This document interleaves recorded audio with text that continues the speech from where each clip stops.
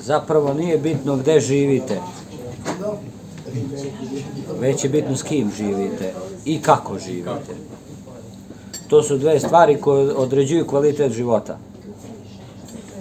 A ljudima je bitno gde žive. Jer misle da će gde žive da im određuju kvalitet života.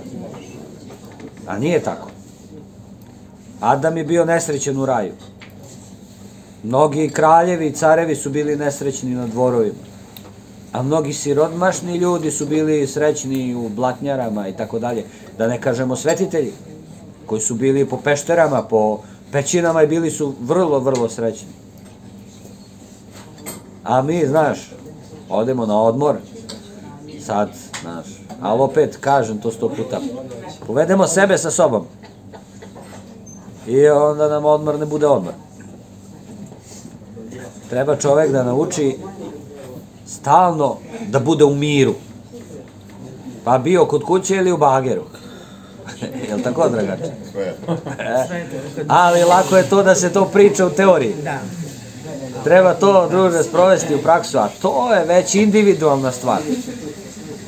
Ne mogu ja da kažem neki recept, pa sad ljudi da, ovaj, kao što ti meni ćeš da daš recept i kažeš, oče, to vam je da prav, napravite to jelo. A, jedna stvar je bitna, ono što sam rekao na propovedi, jeste da smo u liturgiji u crkvi, a napredovanje naše je individualna stvar koju ja možda mogu kroz ispovest drugih ljudi da korigujem, ali ne da predvodim, da vodim, jer ljudi misle kad dođu kod duhovnika, sad će on mene da vodi, ne znam i tako dalje. Ne mogu ja da vodim tvoje borbe umjesto tebe. Ja mogu ti dam savet kako, a isto ko ti mene ćeš da pošalješ recept, poslaćeš mi recept e, preko Vibera, jel tako? Ali kako ću da ga ja umesim, smesim, tamo, začinim. To je do mene.